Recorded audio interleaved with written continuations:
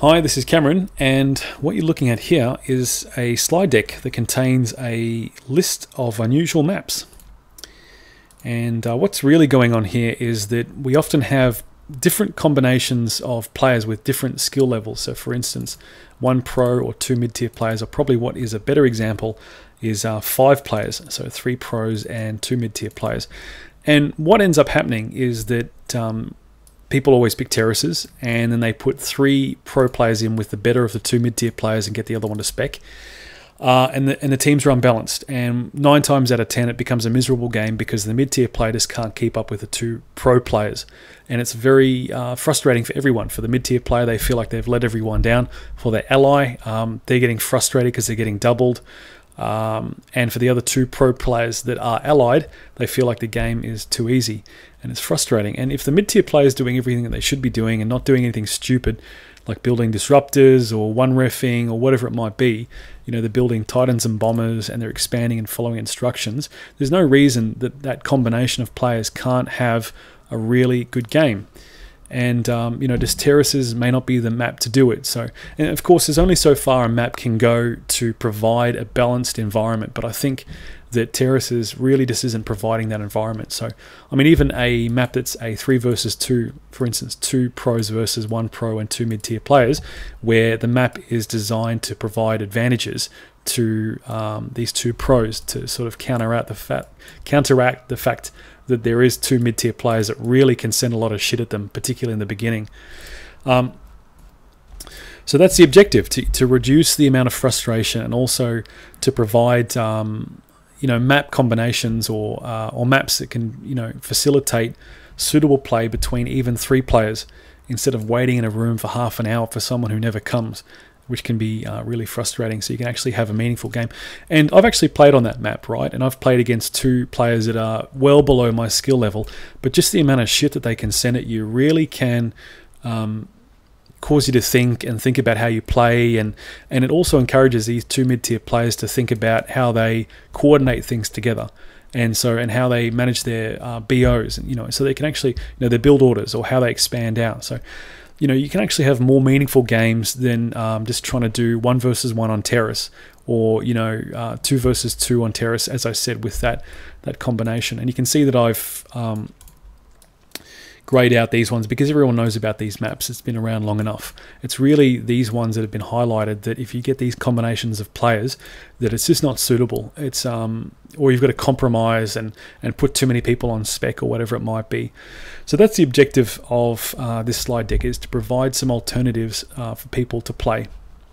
Um, and even you know a one versus two uh, two two pros versus one pro, really giving a weighted advantage to to that other um, pro player. And I'm not saying it's easy to build maps like this or they're going to be perfect, um, but it does provide a, a, good alternative other than sitting in a game room waiting for people to join when there's just no one around.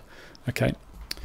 So um, this is the slide deck. Uh, what I'll do now is I'll show you an example map um, that exists because these other ones don't currently exist, which is to me very surprising that um, you know no one's attempted to build a map that's balanced and that can really facilitate things. And then hopefully in a second we'll talk about um, progressive handicap maps if I do remember to come back to that.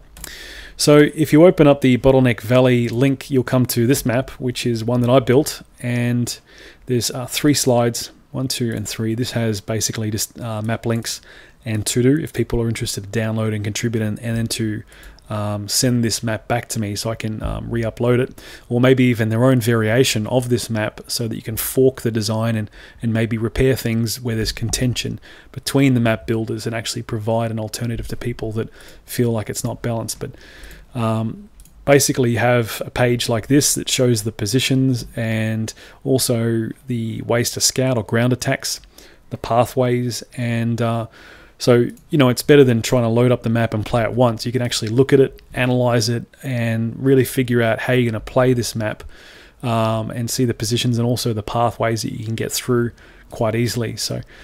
Um, I think it's an interesting way of looking at maps, and it, you know, really this issue of three pro players and one mid-tier player always playing terrace is just crazy to me. And there should be a way to balance things out. And I think you know, or even just open up more playstyles that could be engaging and interesting. You know, obviously on this map, which I've created other videos about, um, these bottlenecks here really provide an advantage to the top right position.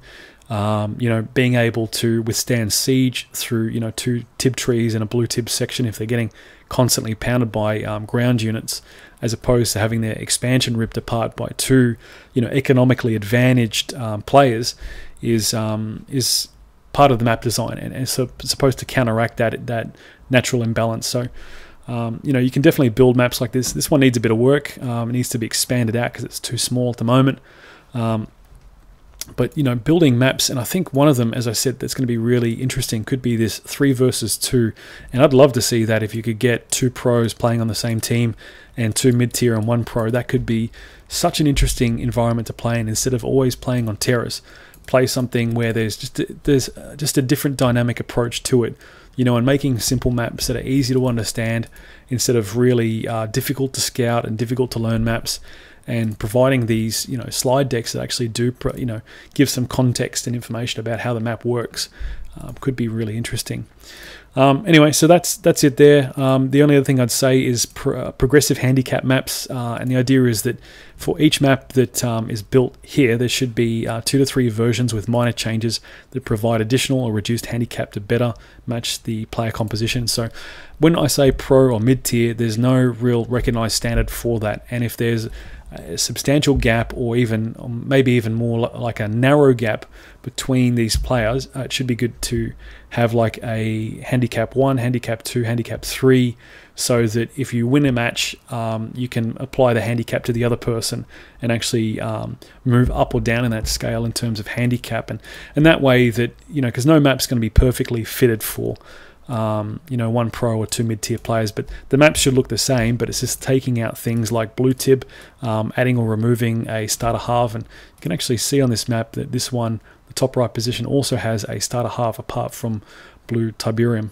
So you could actually remove that to handicap or advantage the um, two mid-tier players if the um, top right position was really strong and they, you know, were playing um, really well against these two two other players.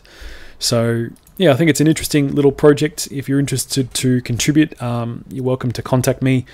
I've also got a link to um, instructional videos here, which is basically the stuff that Holland put together, and hopefully over time people will contribute to that as well. So if you are interested to build maps, um, that's a really good resource to uh, have everything in one place instead of looking through forums, uh, which can be frustrating. It's um, really good to have stuff like that.